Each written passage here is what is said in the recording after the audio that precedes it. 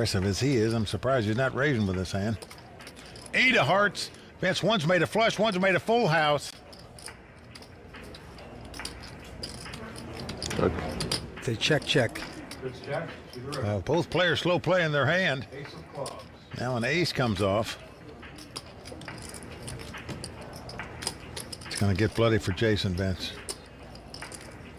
And a bet by Jason. 450.